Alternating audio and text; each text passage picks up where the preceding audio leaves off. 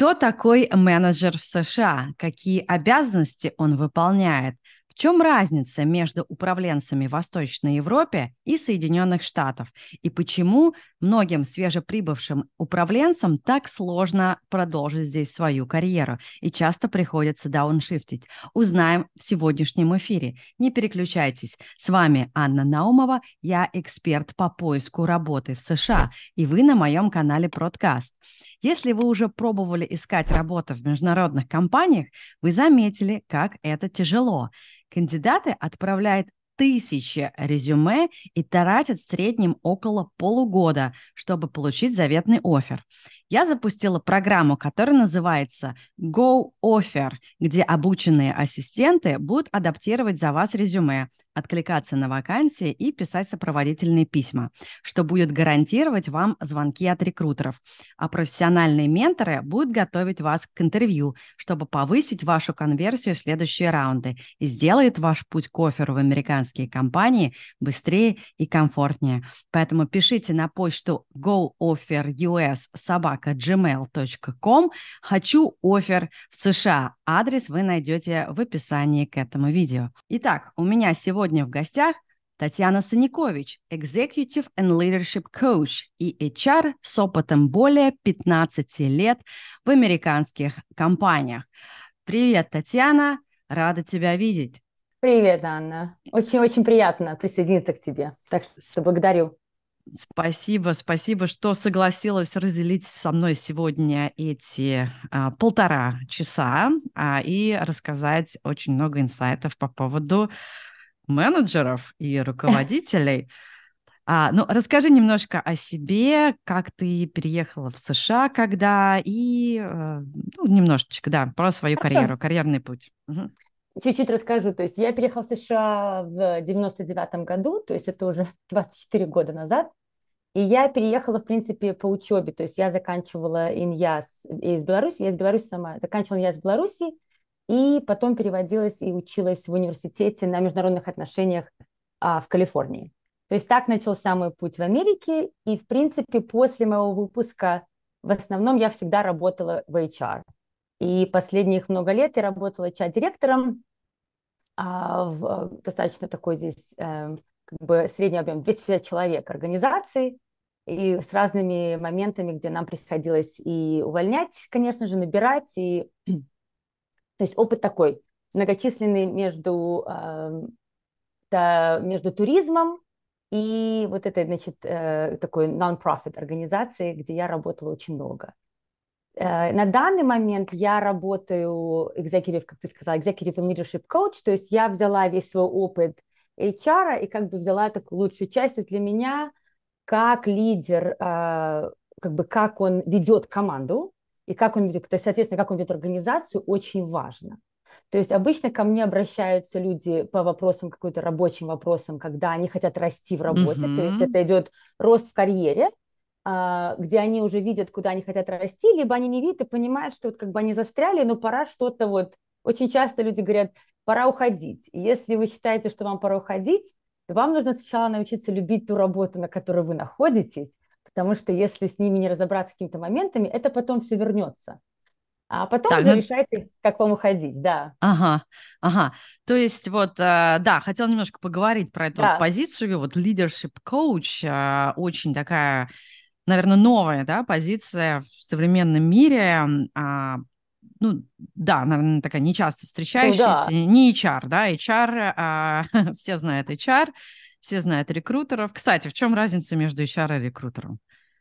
Ну, для меня это, а, ну, как бы э, большая разница. Вообще в Америке есть HR, э, которые рекрутеры, да, но если ты просто определенный, только рекрутер, то ты занимаешься наемом работников, и ты, в принципе, mm-hmm. больше не участвуешь ни, ни в какой-то операционке, ты не участвуешь э, в легальных моментах, да, то есть никаких каких-то комплайенсов, все эти легальные моменты, ты в этом вообще не участвуешь, и, в принципе, ты только занимаешься наемом работников. И ты можешь, в принципе, очень часто, что случается, люди могут не работать э, в этой же организации, на которую они работают как рекрутер. То есть они рекрутеры, они могут определенно работать рекрутером по определенным позициям, что я уверена, ты сталкивалась. Они могут определенно работать рекрутером по индустрии, но это большой, для меня это маленький кусочек HR. То есть HR – это часть, и очень часто в организациях, если это внутренний HR, да, то особенно когда называют HR generalist, то есть такой общий HR, который, они делают рекрутмент, то есть, э, то есть это как бы часть этого большого торта. Угу, угу. То есть вот, правильно я понимаю, разница. что в маленьких компаниях мне может позвонить HR и предложить какую-то вакансию, но в крупных компаниях мне звонят рекрутеры, правильно я скорее понимаю? Скорее всего так и есть, да, скорее да. всего так и есть. Это зависит от как... объема, это получается от объема работы, да. Хорошо, да, потому что есть, я вижу некую путаницу, люди говорят, мне звонил HR из Меты, да, но скорее всего тебе звонил рекрутер из Меты, да, да. А не да. HR. Хорошо, да. хорошо. Ну давай тогда а, вернемся к нашему а, к нашему вопросу. А, leadership coach. А, угу. Вот расскажи вообще, что это такая за роль, а, какие люди к тебе обращаются, по каким вопросам. Вот ты уже да. упомянула, а, что они застряли на каком-то месте. Можешь вот, угу. ну вот какой-то пример, может привести или да, как конечно. они застряли, да. То есть парочку, даже продумаю про своих клиентов, то есть э, либо застряли, либо э, они близки к увольнению, и они об этом как бы знают. То есть очень они часто... сами хотят уволиться или их хотят уволить? Оба. Бывают ага. оба, оба момента. То есть когда человек видит, что их, скорее всего, уволят, но, но они понимают, что по каким-то проблемам, которые они не могут сами разобраться. То есть человек, люди какое, человек какое существо? То есть мы у нас два, э, два момента изменений в жизни. Мы либо двигаемся по направлению к тому, что нам нравится, то есть к, к чему-то, к наслаждению, к чему-то, что нам нравится, больше, чем то, что у нас сейчас. Либо мы двигаемся от боли, то есть к чему-то, либо от боли. От боли мы, люди двигаются намного быстрее. Вот, как бы из опыта. Это морковка и, и кнут, да? Вот э, эта картинка с осликом, да. Да, то есть даже из моего собственного опыта, да, я поняла в какой-то момент, что я какие-то реш... я решения принимаю чаще намного быстрее, когда вот совсем больно. Вот, и то есть как бы ко мне приходят э, люди, когда им больно, может быть, от внутреннего состояния или внешнего состояния, то есть клиентка одна пришла, которая говорила там, я понимаю, что мне, я хочу уходить с этой работы, почему это привела, да, не знаю там куда и что, а, но человек в лидер в плане для меня, то есть у них а, э, зона ответственности высокая. И, соответственно, доход достаточно высокий, и вот это вот я сейчас все брошу и поменяю, это не так, ну, это нелегко. И это не для каждого совершенно. То есть человек пришел, говорил, я не хочу на этой работе больше работать, я хочу писать книгу, а дальше что я не знаю. И мы уже, кстати, это самое главное, дольше, дольше всего мы работаем, почти два года. Она сейчас работает в той же организации, она поменяла должность, она все ее как бы, мы работаем вместе, но это не мое толкание совершенно. Она прошла совершенно другую должность, которую она в начале, это вообще новая должность, но в том направлении в начале нашей работы она говорит, да я в жизни не хочу работать с людьми мы к этому вернемся, может, об этом поговорим по поводу разницы uh-huh. между individual contributor, да, и лидер-менеджер, который с людьми, который как uh-huh. команда. Вот, то есть, и вот, и я работаю тогда, получается, с mindset ом, я работаю с коммуникациями, особенно бизнес-коммуникации, потому что для меня, в моем опыте, особенно в HR, как лидер, особенно если это главный лидер, там, CEO, там, еще какой-то VP, директор, как человек коммуницирует с, со своей командой и с организацией, это как вот, это как вот на озере э, вода расходится, да, то есть камешек бросили, это э, эффект проходит на очень многих людей. И мы проводим очень долгое время на работе. Мы работаем, ну, в основном много в нашей жизни. Поэтому качество нашей жизни на работе для меня всегда было важно, э, как человека и как HR. То есть я вот этот момент взяла с собой в коучинг э, лидеров и как бы экзекутив топов, потому что там вроде как один человек, но этот один человек влияет на столько многих людей и на качество их жизни.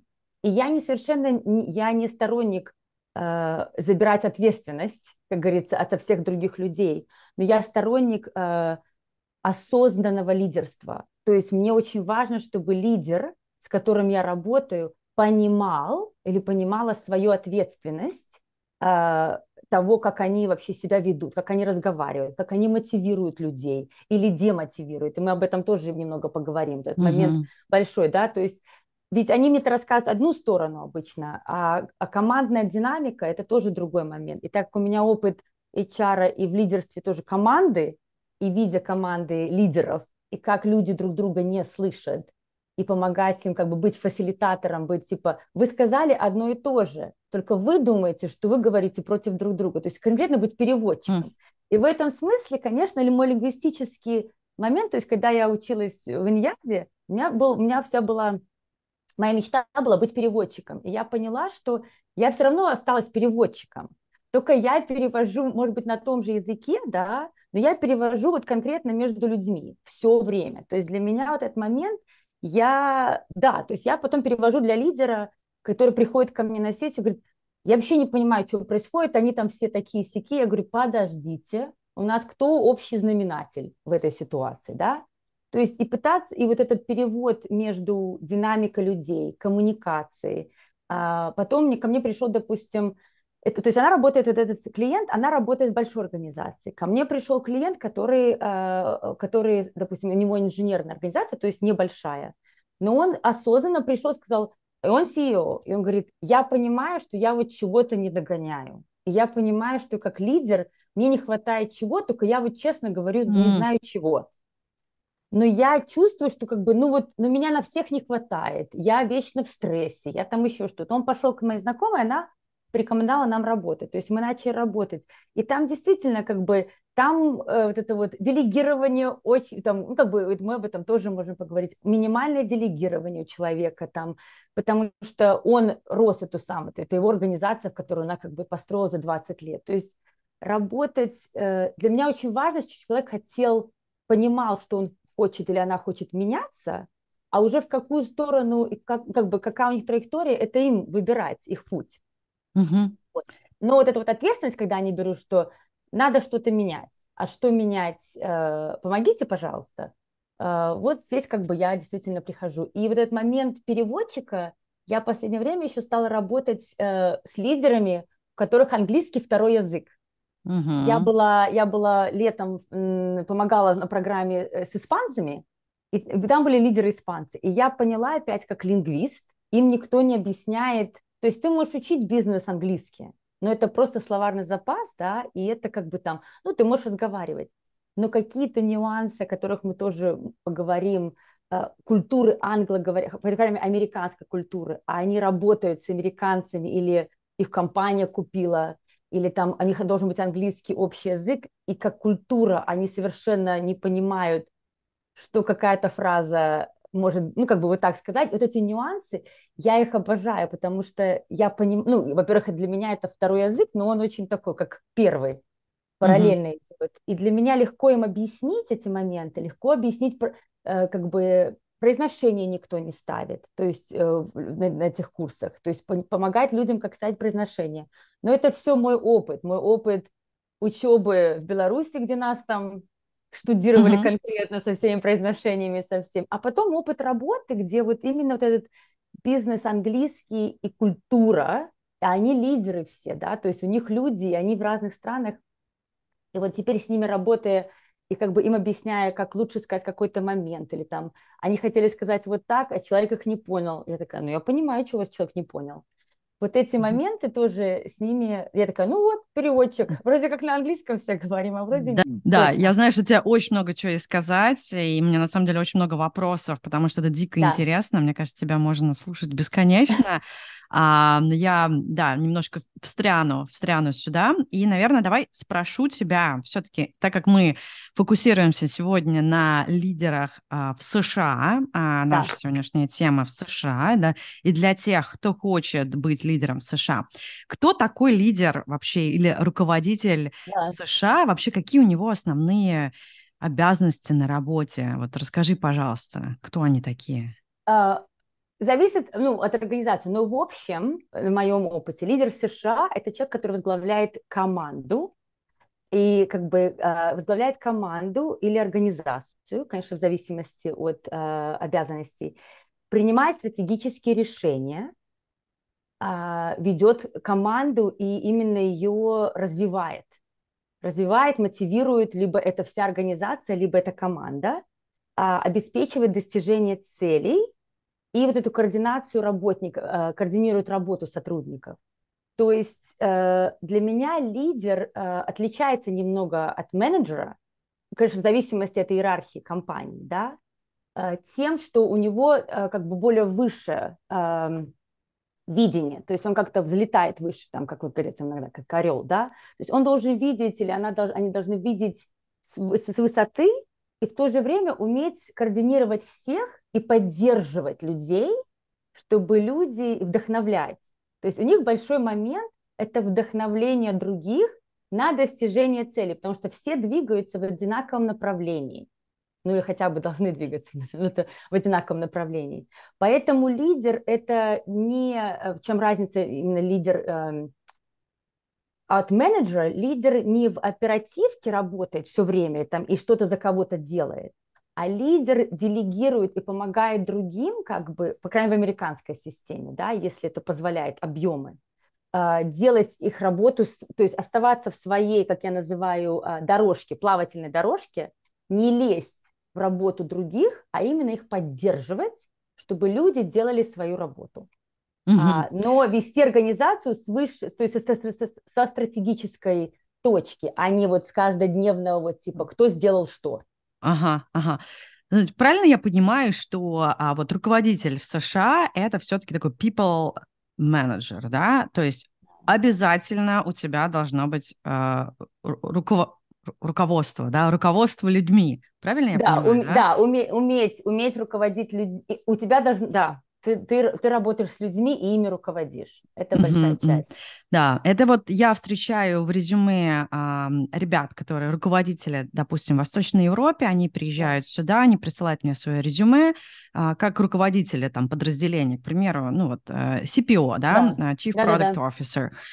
И достижения, когда я смотрю у них, у них достижения в основном такие обычные, как individual contributor, Contributor. да, вот, да, они вот там запустили какую-то фичу, да, какую-то метрику yeah. подняли, и я смотрю, что это, ну, не то, что на самом деле здесь, да, не совершенно yeah. вот э, не то. Но давай, может быть, тогда с тобой обсудим как, вообще разницу, э, какие основные различия между руководителями США и руководителями в Восточной Европе? Uh, вот ты привела момент, я хочу просто как бы, uh, uh, и сейчас вернусь к, к различиям. Ты привела момент такой, допустим, человек пишет, да, то есть они, они руководитель, человек, и пишет, я там такой-то метрик сделал, да. Здесь я смотрю в резюме, какая у них была команда и чего команда достигла, да, то есть, допустим, там, или как долго эта команда продержалась вместе, допустим, то есть увидеть, что человек умеет работать с людьми и их доводить до этих целей. Цели замечательные, как бы, но это финальный результат. То есть это я как бы хотела за за закрепить. Угу. То есть um, если ты individual contributor, да, ты как бы ручками берешь и это все делаешь, да? да если ты менеджер, да, проект, ты как бы да. берешь других людей и их ручками все делаешь. Правильно да, я понимаю? Да, да. Супер. То, То есть, есть ты должен от, отразить это в резюме. Если ну, ты я, руководитель, я да? на это смотрю как HR, да, то есть я на это всегда смотрела как HR, то есть именно какие у них междучеловеческие качества и что они делали с людьми, то есть для меня было больше там продвинул там, то есть в моей команде там люди развились до такого-то уровня, да, или там, допустим, да, мы запустили этот проект, но запустили мы вот такой вот командой и все вместе. То есть даже этот эм, язык, даже выбор этих слов для меня показывает, что человек думает о других людях.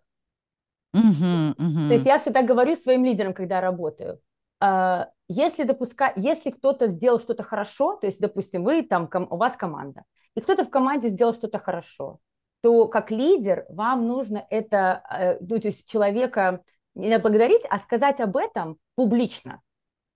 Mm-hmm. То есть сказать, что вот какой классный человек, и чтобы все это слышали. Если кто-то совершил ошибку, и это не ваша ошибка, а, ну, кто-то, а кто-то в вашей команде, то угадайте, кто эту ошибку берет на себя. Вы, как лидер.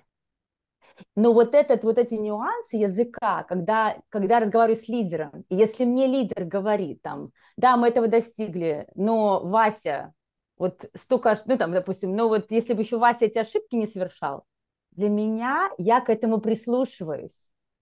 То есть для меня лидер, для меня, как HR тогда, и сейчас, когда работаю с ними, должен быть человек выше этого. То есть он должен, должен быть человек, который поднимает всех вокруг себя и берет удар на себя. Это очень непростая позиция. Но, простите, если вы доходите до такого уровня или хотите туда стремитесь, она приходит со своей долей ответственности. И, соответственно, со своими как бы uh, consequences, то есть последствиями. Вот mm-hmm. это одно из них, что как бы, и очень часто лидеры говорят, мне очень э, одиноко, потому что как бы получается, что да, я благодарю всех, это как бы все сделали, а проблемы на меня. Я говорю, согласна, найдите, пожалуйста, себе лидера, желательно в другой компании, или там с коучем работать, и выговаривайте все, что хотите. Вот. А, Но не свои Хвалите команды. сами себя, мне кажется. Конкретно, да, да, да конкретно. Вот. Это хвалите других и хвалите себя. Да, мне да, кажется, да. Это очень это важно. Тоже, тоже важно. как бы быть такой mature, да, для лидеров быть mature, да. не быть как бы ребенком и ждать, когда мама его похвалит, похвалит. да, или кто-то да, похвалит, да, да, да, ну иметь возможность похвалить себя и параллельно еще похвалить всю свою команду, да. Потому что, в принципе, вы выстроили это, да, то есть возвращаемся да. к каким-то различиям. Слушай, а давай мне да. еще follow-up такой question давай. здесь, э, извините, какой-то за мой рунглиш сегодня, сегодня у меня микс русского и английского. Вот, а, я хотела что спросить? А, по поводу вообще культуры Америки, такой индивидуалистической. Uh-huh. И что я слышала, а, что когда вы а, пичите себя на собеседованиях, говорите про свои достижения, надо обязательно говорить «я-я-я-я-я». Я достиг чего-то, да, как продукт-менеджер я запустил эту фичу. И это понятно, ну, и не говорить, что мы с командой и вот, э, вот расскажи про это. Вот, как, лидер, получается, должен быть мы, да? А вот индивидуал ну, вот это интересно. да? Это, это классный вопрос, потому что э, для лидера, если я интервьюирую лидера, мне важно, мне нужен баланс тогда. То есть и, и не просто, что там я или мы, а вот баланс, допустим, что э, у меня получилось организовать команду так, что мы достигли вот этого, да, или для меня важно, то есть я говорю про себя, я говорю, что как бы я так делала на интервью, допустим, я говорила, что допустим, мне важно, мне как лидеру важен рост моей команды.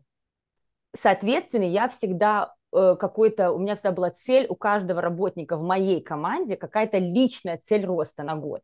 Я всегда с этим работала. Потому что для меня это важно, да? И то есть, как лидер, если я интервьюируюсь, разговариваю, я говорю о том, что да, мне важно там какая-то там про культуру я могу сказать или еще что-то сказать, да, но не, не забывайте про команду, не забывайте, как вы ведете людей. То есть для меня важно качество э, вашей работы с людьми. То mm-hmm. есть там не то, что говорит там, ну, мы можем, ты, мы можем сказать, и мы там достигли какой-то цели, или там я достиг, но мне все равно хочется услышать, как, что для вас важно в командной работе и как вы... Я спрошу эти вопросы, как, как HR, я спрошу, а, такие, я люблю себя спрашивать э, поведенческие вопросы и с открытым как бы концом. То есть я себя спрашиваю, расскажите, пожалуйста, там, э, расскажите, пожалуйста, о том, как вы достигли какой-то цели, э, как вы достигли, как вот вы командой или там сами достигли uh-huh. цели. И потом я слушаю. Человек говорит про себя только, или про команду, или говорит, как бы, типа, вот я там делегировал это, подвел ресурсы туда-то, и вот мы все вместе сделали вот такие моменты, да, то есть а, от вопросов еще, ну, для меня зависит, но когда человек разговаривает а, здесь, в этой культуре, а, в моем опыте, важно показать, как ты работаешь с людьми, и какие у тебя ценности,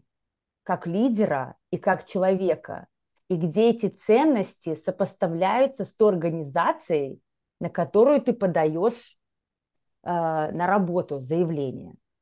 То есть как HR для меня это тоже все, потому что как лидер, и мы об этом тоже можем поговорить, ты потом двигаешь культуру. Опять же, почему я работаю с лидерами? Потому что стоя, стоя выше, ну, в иерархии, да, их какие-то моменты э, понимания осознанности и неосознанности очень влияют могут очень влиять на культуру компании.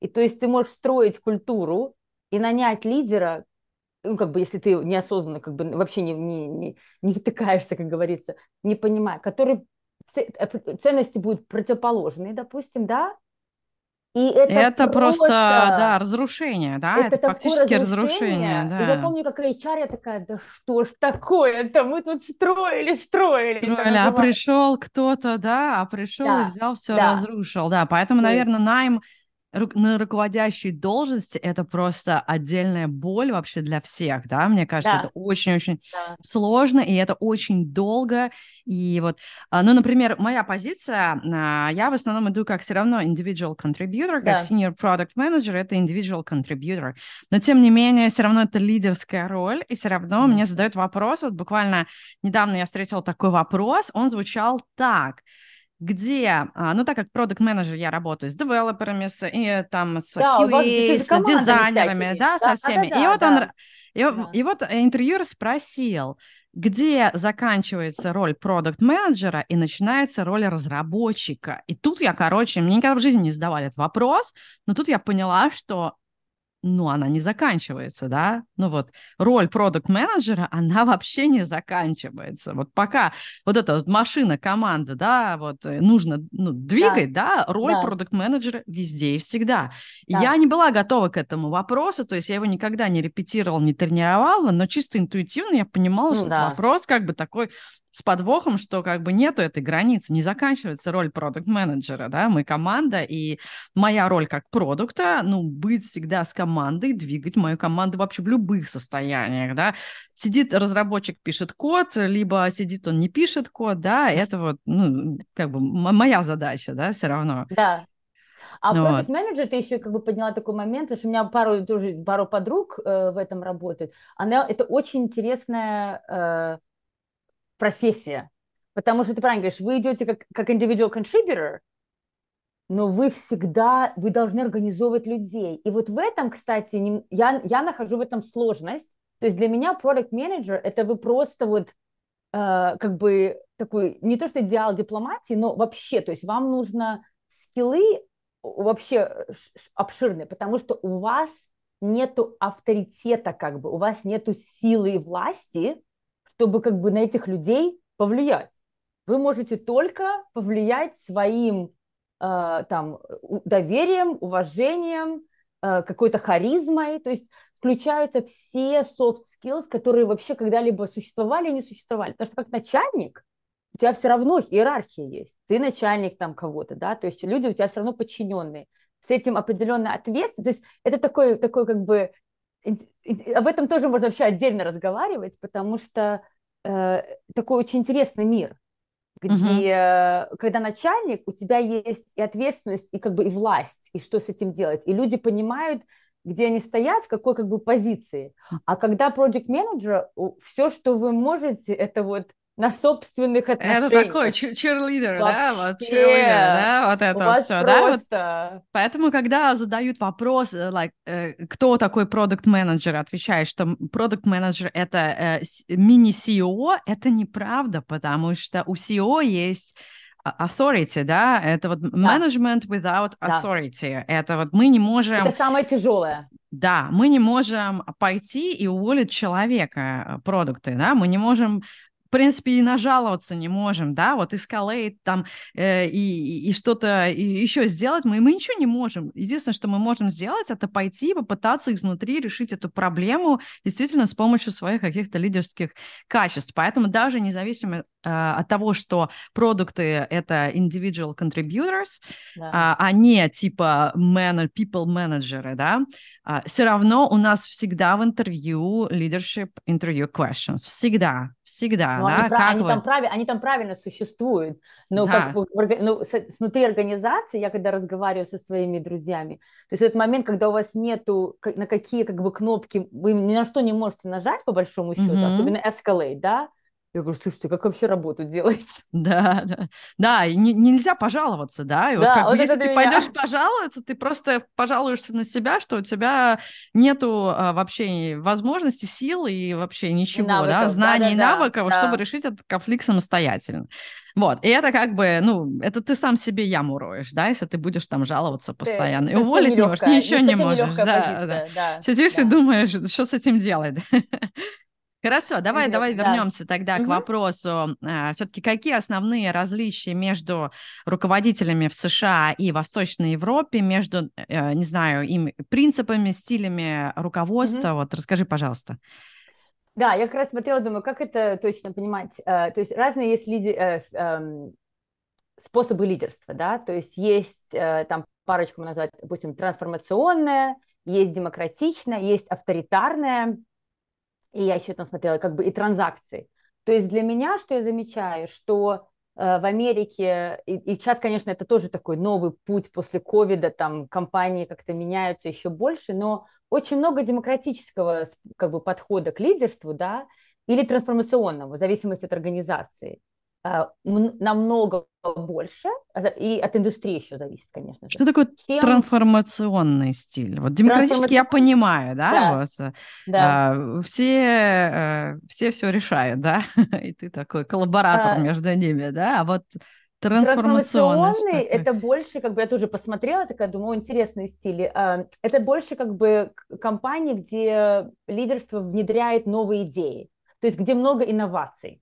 Угу. И то есть я, я думаю, их, можно скомбинировать. То есть есть трансформационный стиль и демократичный. То есть ты как бы вводишь все время новую информацию или новые какие-то подходы, и в это время как ты это делаешь, да, допустим, демократичным стилем или там другим каким-то, то есть они сов, совпадают вместе. А угу. есть же определенные индустрии, где вот как бы все время новые инновации или там креативность, ну, сложно, там, я не знаю, машиностроение какое-нибудь, допустим. Это uh-huh. все равно вводится, но не так резко, не так быстро. Uh-huh. А есть, конечно, там какие-то софтвер или еще что-нибудь, они же постоянно да, ну давай, давай сфокусируемся именно на software development, потому что да. А, люди, которые меня смотрят, в основном работают там, и я думаю, что в основном обладают все-таки демократическим вот этим а, стилем. Да, стилем лидершип, э, да, я не буду уже говорить про эти авторитарные, что пришел там начальник завода, да, да это да, не да. моя не моя аудитория, давай вот возьмем какую-нибудь, ну, компанию, а, там, я не знаю, стартап где-нибудь в России или в Беларуси, такой нормальный, адекватный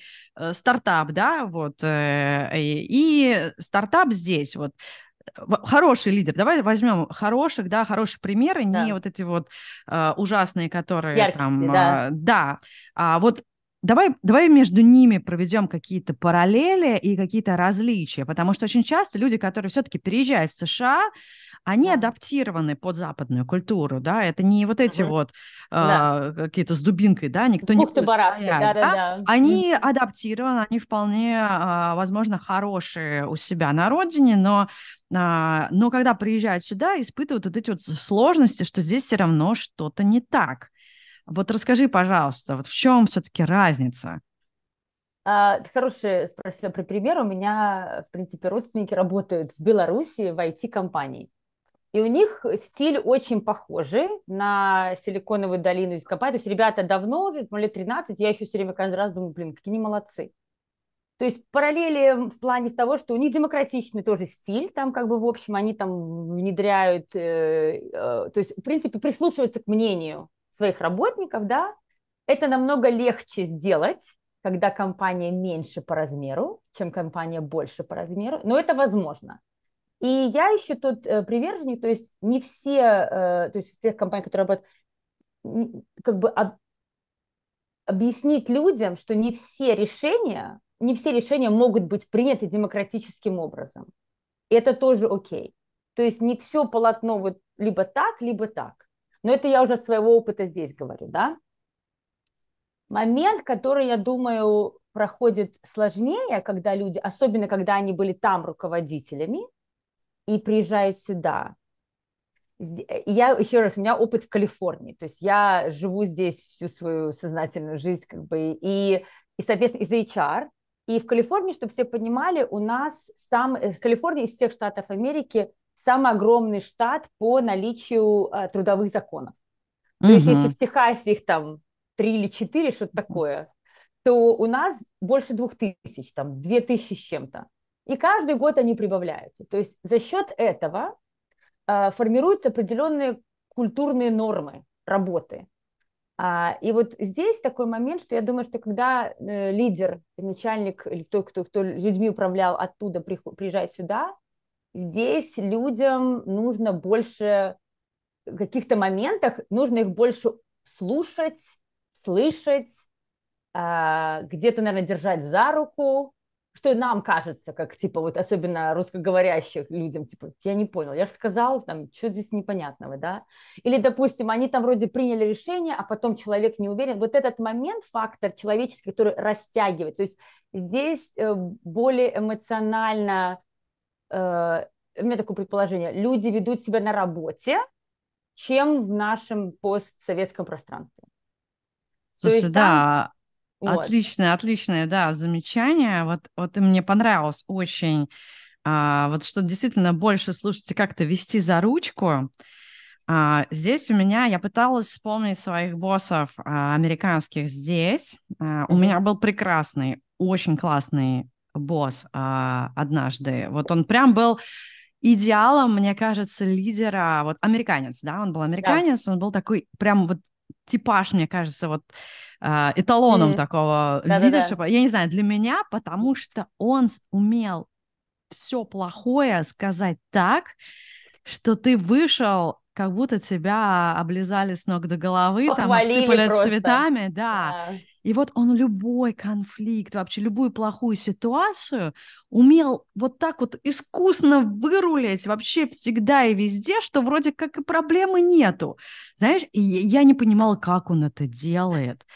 Я не понимаю а вообще, что это за, за качество такое, как он да. так вот. И поэтому всегда, когда я помню, что у нас какая-то проблема а, с проектом, да, да. А, нам, нам нужна какая-то помощь, я всегда к нему шла и говорю, слушай, помоги реально, вот ты прям На профи в этом, просто. да? Да, да, прям да, ты да. профи, да. Я знаю, что я не вырулю сама это, просто у меня нету таких скиллов, как у тебя, вот что он либо сам приходил ко мне на встречи там с, э, со стейкхолдерами разговаривал. И, и разговаривал, и все такие, все радостные, и все порешал, да, либо давал мне какие-то наставления, да, но я все равно не понимаю, у меня нет вот этого вот чуйки какой-то, чутья вот, да. э, вот этого. Я не знаю, как, как они это делают, расскажи, пожалуйста. Ну, это... Эм это личное качество человека, я должна сказать. То есть это как бы комбинация. Это комбинация личных качеств человека и, и вот эта комбинация эмоционального интеллекта, а, с моей точки зрения. И не боязнь конфликта. То есть, опять же, он разруливает конфликтные ситуации.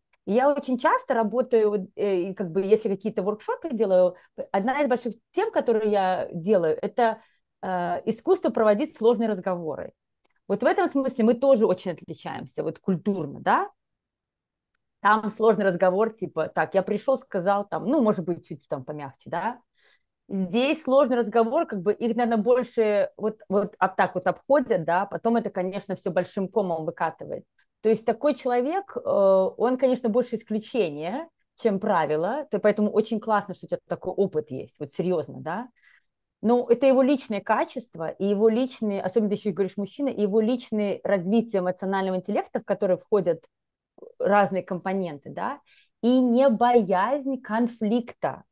То есть конфликт для многих из нас, я, я не исключение, особенно раньше, это всегда нес негативные какие-то чувства. Типа, блин, сейчас разворачивать этот конфликт. Потому что у нас модели были такие, как бы мы выросли в определенных, все, вырастаем в определенных моделях. Но если у тебя модели твоего взращивания, ты рос, и у тебя было такое, что люди всегда говорили, или обсуждали какие-то серьезные темы и находили, как к ним позитивно подойти, да, то у человека типа там, а, ну так сейчас мы тут все разрулим. То есть все равно этому можно научиться, это, я тоже это уверен, этому можно научиться, и я с этим работаю, но это процесс. Вот это mm-hmm. вот точно не, не навык там поставить smart goal, да, расписать все и типа, окей, я понял по шагам, я пошел, называется. Это вот чувствовать людей, и это для меня еще такой это желание это делать. Потому что если нет желания, потому что это тяжело, это непросто. Это совсем непросто. И очень легко слиться. Серьезно, да? Но да. это вот именно это желание вот людей, как ты говоришь, опять-таки вот лидер, людей, их точку зрения, понимать их. Это желание понять людей и найти какую-то общую точку, где все себя чувствуют услышанными, и вроде как-то проблема решается, и вот это делается не вот таким способом, не, не да, не, не меряется какой-то силой. Да, да, я вот сейчас тоже начинаю просто вспоминать, вот, знаешь, у меня такой да. Э, просто принт такой в голове отложился а, да. поведение вот этого менеджера, потому что для меня это было просто какой-то уникальный пример. Настолько мне понравилось, да. как он вообще себя э, вел, что я каждый раз я сидела и смотрела и пыталась у себя вот, знаешь, запомнить. Да-да-да. да. Принт, принтскрин такой сделать у себя в голове. Вот, Аня, вот куда надо стремиться, вот сюда, вот так надо быть. Вот, и да, действительно, ты говоришь, он не боялся, он не боялся, он шел за свою команду, он знал, что у него э, впереди какой-то неприятный, скорее всего, разговор. Да. А, действительно, было очень много стресса, было очень много давления со стороны коллег. Он всегда приходил позитивный такой, да, и вот он всегда начинал, мне очень нравилось, он всегда начинал митинг не, не просто, да, да, small talks, да, вот, который да. в, в Америке, да, мы это да. уже оставим, потому что это уже как uh, must have, да, в Америке. Да-да-да. Так он еще всегда, он всегда запоминал что-то о тебе, да, обязательно, о какой-то твоей а, жизни, да, Это как личное. твоя дочь, да. да, он всегда да. меня спрашивал, Аня, как твоя дочь, Аня, как твоя кошка, да, вот, понимаешь, он как бы сидел, запомнил, да, что у меня есть дочь, у меня есть кошка, да, он запомнил какие-то маленькие детали про школу, да, про какое-то обучение, да. какие-то что-то про кошку, я ему вот э, в процессе, да, когда я отвечаю, да, да, да, да, рассказываю как кошка, я ему что-то отвечу про кошку, да, он либо запомнил, либо куда-то записал, в следующий раз он обязательно меня спросит, да, а вот как вот эта ситуация, ситуации, что вот ты решила с кошкой, да, что вот с дочкой, а, что у тебя там еще по каким-то твоим хобби, да, фронтам, да. независимо от работы. И мне это очень было приятно, да, человек обо мне не знаю, думал, да, ну, как бы пытается узнать. Да, и это, мне кажется, тоже очень важно, очень э, то, что, наверное, как-то отличать. Я вспоминаю своих э, боссов э, из Восточной Европы, да, мне кажется, им было, ну, по большому счету, пофигу на мою жизнь, да, ты сиди и делай свою да. работу, да. Да-да-да, то есть вот это вот разделение, типа, там, пофиг им, не пофиг, ну, типа, вот так, мы здесь делаем работу, вот это вот это, вот это мягкости такой, да, нету, допустим, понимания. А второе, Uh, и ты это, я твою статью тоже читала на днях, которую там вышла в Forbes. Это вот когда говорят с нашей стороны, со стороны э, бывшего Союза, но это как-то не искренне там все. И я помню, ты написала такая, слушайте, вот лучше мне просто вот красиво со мной поговорят пять минут, там, если вы считаете, что не искренне, но зато я ухожу в состоянии, да, ну, в хорошем, искренне, ну, то есть с этим менеджером я даже не сомневаюсь, это было искренне, но момент, наша нервная система, не различает, искренне это или не искренне. Но наша нервная система различает, это для меня сейчас э, опасно или не опасно. И уже от этого раз, развивается разговор. То есть уже от этого твоя нервная система расслабляется, ну, то есть конкретно, да, то есть это, ну, это вот, это научно доказано. Вот. И ты спокойно проводишь разговор, так же, как и все остальные, которыми в разговор, да, то есть ты-то в его команде была там, допустим, а там кто-то, кому-то он идет с кем-то разговаривать, и вот это он спрашивает, ну хорошо, если там человек станет в позу, как у нас некоторые любят, да, с нашей, с той, с той стороны, типа, нет, я вот им не дам через мою броню прорваться. Ну а толку-то от этого? Кому от этого лучше? Вот скажите мне, пожалуйста, да, то есть вот этот момент, типа вот я вот докажу, ну, вам хреново, и человеку тоже не особо весело, да, ну, то есть, и вы все равно не пришли к какому-то решению, которое могло быть не А и не Б, а С, которое мы не можем видеть, когда наша нервная система в состоянии опасности. Если она у тебя расслаблена, то ты намного легче можешь навигировать, у тебя опции другие появляются, которые они, не, они просто физиологически не могут появиться, потому что твой, твой мозг и как бы твой этот лимбик, да, то есть который вот этот наш такой, сейчас либо драться, либо бежать, либо буду замирать. Ну, с да, того да. состояния нифига решить невозможно именно таким коллаборативным путем. Ну, а если вы двигаете не коллаборативным путем, ну, пожалуйста, но далеко не уйдете, честно скажу. Ну, в зависимости, конечно, от культуры организации, но Здесь это не весело. Да, да, да. Это вот частый мой комментарий, когда я говорю, что мне нравится американский процесс э, э собеседований, потому да. что ты обычно оттуда уходишь э, в хорошем состоянии, да, и что это вообще огромный скилл для интервьюера э, выслушать своего кандидата, даже если он несет какую-то пургу, и делать вид, что это классно. И на что мне часто отвечают, да, да фу, это лицемерие.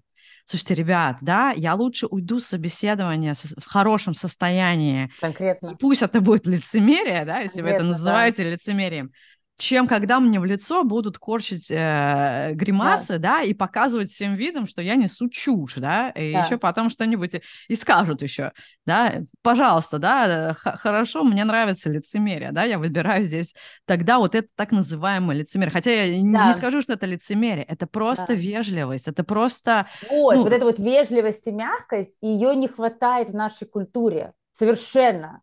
Особенно это вот вежливость, то есть ее поколениями не взращивали, поэтому вот это вот эта сложность, потому что когда вежливость, она тут же сразу воспринимается как лицемерие и, и, и воспринимается типа сейчас от меня что-то захотят, и я вот сейчас буду здесь вот напряженным. Ну, ну вот так вот нас, так mm-hmm. вот мы росли, да, то есть поколениями. Вот, вот этот момент, он очень важен для начальника, как мы с тобой говорим, для лидера, переезжающего сюда и ведущей команды, это вот, это вежливость это вежливость, mm-hmm. это желание понять других, как бы это сложно не было, типа, господи, опять по тому же кругу. Да, опять по тому же кругу. Угу, угу. Слушай, супер, отлично. Ну давай, давай перейдем вообще к трудностям, да? А, давай. С какими трудностями сталкиваются а, люди из Восточной Европы на менеджерских позициях, которые переезжают в США? Какие основные ошибки они допускают? Я как бы, я когда думала, значит, наверное, три для меня, и мы вернемся к ним. То есть культурная есть разница, да, то есть культурный барьер или культурные моменты, в деталях посмотрим. Языковой момент, он все равно существует. И третье, адаптация, скорее всего, как бы вот к, к среде, да. Угу. То есть для меня культурно, мы с тобой говорили о культурной, как бы вот э, до сих пор, это все были для меня культурные в плане рабочей культуры. Угу. Ну, это вот а, э, слушать, да. да, быть вежливым, да, как-то очень мягко э, давать фидбэк, да, делать да. вид, что твой э, э, коллега или подчиненный э, самый умный на свете, да, вот даже если он ну, не есть, такой, да, это, да, это вот работа это с моментом, такой. это конкретно такой эмоциональный интеллект, работа, да, то есть ага. это коммуникации, это осознанность своего состояния, и состояние другого человека, да, и как с этим, и что с этим делать, э, самопознание себя, такие, знаете, какие моменты, которые у нас, ну, сейчас уже это больше развивается, раньше было намного меньше, и э, и как вот, ну, и, и, вот, и вот эта осознанность для меня, то есть когда мы переходим в другую организацию, культуру, неважно, как я, кто я такой в этой организации, и как я себя нахожу, то есть не просто, что вот я зашел в нее и там и пошел, да, там, бульдозером. Надо какое-то время, чтобы понять, э, ну, я, по крайней мере, так, так стараюсь со своими лидерами, говорю, так, вы вот, ну, там, где-то начали новую работу или, или на должности, дайте, пожалуйста, время себе ассимилироваться и другим вокруг вас. Это перемены. Перемены всегда ведут за собой есть такой э, целая графа называется of grief, то есть там stages, то есть разные стадии перемены, они всегда ведут за собой эм, э, изменения внутренние человека, да, которые, то есть они не знают, это хорошо, плохо там, нравится им, не нравится, да, то есть стабильность, нестабильность. И вот это вот все, этот весь суп, если человек неосознанный, да, то есть это все проектируется на другого человека. Допустим, нового начальника. А если новый начальник еще не понимает, что вот это вот все mm-hmm. происходит сейчас какое-то время, и вот этот вот суп его туда-назад его, короче, кидают, mm-hmm. это не совсем весело. Второй языковой mm-hmm. барьер. Mm-hmm. Я говорю про языковой барьер, когда со мной разговаривают, особенно там друзья или кто-то, даже какие-то клиенты, сейчас вот когда с Испанией. В Европе, конечно, к языкам относятся, особенно к языкам той страны, если ты приезжаешь, ну, по моему, даже не по моему личному опыту, а моих друзей, как-то более серьезно ищут акценты. В Америке, я считаю, э, находится более толерантно. Допустим, там ты говоришь замечательно, но когда ты на какой-то определенной должности, то есть когда ты уже растешь в организации, да, и на определенной должности, то все равно нужны навыки. Вот почему, допустим, стала работать тоже сейчас лидерами, для кого английский второй язык, потому что они лидер до определенного момента, но они не могут объяснить так же, как они могут на своем языке, это на английском. Либо у них произношение очень плохое, и их не понимают. И это создает ненужные проблемы. То есть это все равно создает ненужные проблемы. Mm-hmm. Это не так ярко сказывается, я считаю, если вы просто вот даже не individual contributor, а вот просто как бы line employee, как я называю. То есть человек заходит на работу и начинает там, ну, с любой работы, которая, если какая-то есть иерархия в организации, вы на самом нижнем уровне. То есть вы работаете, какой-то минимум у вас есть, вы, в принципе, просто исполняющий человек, да, ну, если вы понимаете, что от вас требуется, можете сказать, нормально. Но как только вы начинаете двигаться, то ваш словарный запас и как вас понимают люди – это важно. И причем мне подсветила одна из моих подруг, она преподает, э, у нас военная академия есть в лингвистическая военная академия в Монтерее, и она преподает русский э, будущим военным переводчикам. И то есть, э, англи... то есть она преподает русский, английский, у нее на высоком уровне, она профессор, но произношение ей никто никогда не ставил. И за счет этого, то есть мы, я с ней работаю просто на, на, с произношением, потому что на конференциях она считает, по крайней мере, это ее такое как бы состояние внутреннее, что ее не, не воспринимает иногда не так серьезно, что если бы она говорила без такого сильного акцента. Ага, и то есть произношение, вот у меня вопрос, да, потому да. что есть произношение, а, как ты ставишь ударение в слове, да, я не знаю, impact, да, да, impact, да, да. это произношение, а есть акцент, вот ты в Нет, данном случае... Именно. Я про акцент. Акцент, да, да, потому что произношение все-таки в моем понимании это то, как ты произносишь слово именно с точки зрения его, ну, какие-то ударений, да? А. Ну, опять же, Импакт, импакт, да, это два разных поняла, слова, да. и ты можешь их произнести по-разному, и люди тебя не поймут. Ну, это так разница ты... в британском, английском и в американском, то есть какие-то слова даже. Ага, ага, именно да. акцент, да, Именно акцент, ага, окей. Акцент, да. То есть у нее сильный какой-то, да, акцент. вот акцент. Вот русский такой, русский ага, акцент, ага. и Speak from my heart, да, да. вот такое. И вот именно мягкости, не хват... вот эта вот мягкость и такой перетекаемости, и так как она в этой среде все время, она внутренне говорит, мне нужна помощь, потому что она, она вообще, то есть там, профессор, вот. Но она говорит, ну вот доставлять эту тему на английском языке на огромной какой-то конференции, говорит, я понимаю, что мне было бы комфортнее, и меня бы там какие-то моменты, я считаю, воспринимали бы по-другому. И в организациях я такое тоже видела. То есть у нас, допустим, мы в Калифорнии, то есть у нас очень много испаноговорящих, да, то есть у нас большинство. Но если кто, ну, в основном, допустим, если про акцент говорить, а, если человека сложно понять, ну, где-то где я, допустим, работаю, а если человека сложно понять, то опять ну, создаются барьеры коммуникации. А это мы с тобой говорили уже, да, это один из фундаментальных моментов лидерства. Это вот двигать людей вперед, куда, куда вам хотелось, да, и вдохновлять. А если тебя человек э, не понимает или понимает не до конца, или там твой тон, э, как бы перевод, если мы переводим и слова, и тон э, с русского языка на английский, Ой, ну это, это не очень просто. Да, вот. да, здесь я хочу добавить, я недавно брала интервью у Мэриан Беккер на английском языке. А если, да, не смотрели это видео на моем англоязычном канале, обязательно посмотрите, я приложу ссылочку к описанию этого видео.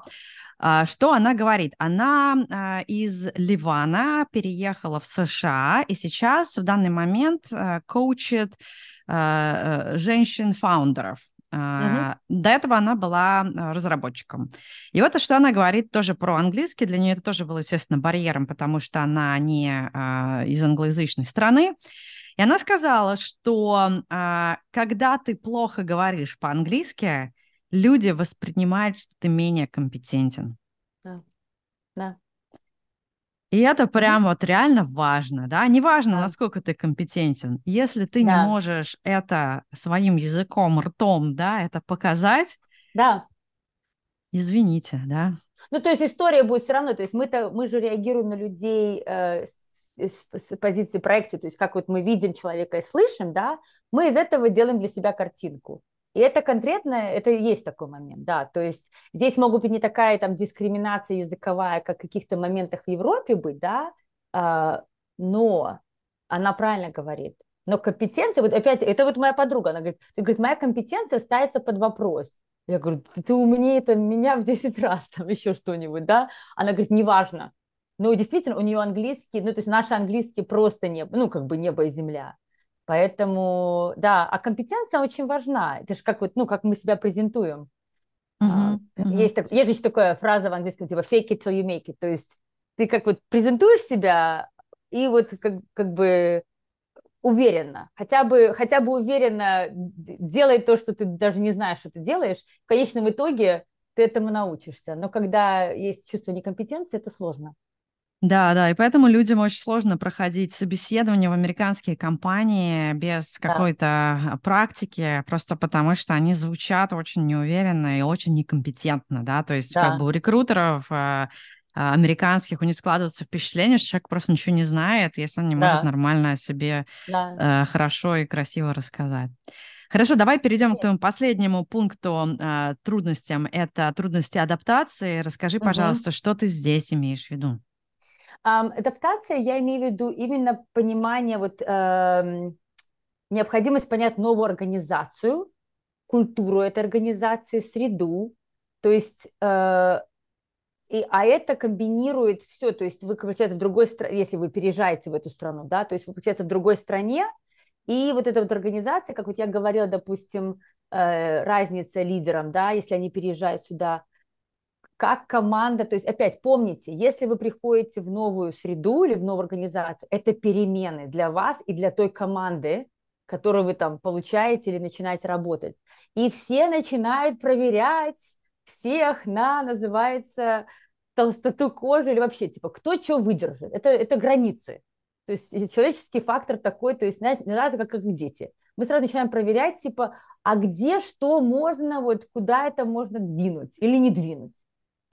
И вот в этом смысле, если нет э, понимания этого или там какой-то определенной мягкости, и опять мы возвращаемся к эмоциональному интеллекту и понимания людей и их поведения, то очень может быть все, воспринято очень в штыки и очень резко, да, или вообще не понимать э, там, как можно все время спрашивать, э, почему нужно спрашивать, если мы говорим, допустим, про демократичную, да, подходит стиль, почему нужно все время спрашивать мнение работников, а все время их надо спрашивать или не все время, да, или там, а мы собрание делаем всей командой или там только один человек, а если я пошел поговорил с одним человеком, все сразу типа, а мы что, левые, а почему с нами не поговорили? То есть вот эти моменты, эти uh-huh. нюансы, да, они, я когда, когда у меня начинают, допустим, если работать с какими-то клиентами, они что-то меняют, я всегда говорю, слушайте, ну хотя бы дайте месяц, ну хотя бы месяц, да, чтобы и себе, и другим чтобы как-то адаптироваться. И по максимуму старайтесь не воспринимать все лично. Вообще старайтесь не воспринимать все лично, вообще на будущее, да? Но особенно в такой момент перемен, потому что момент перемен, он для всех очень нестабильный.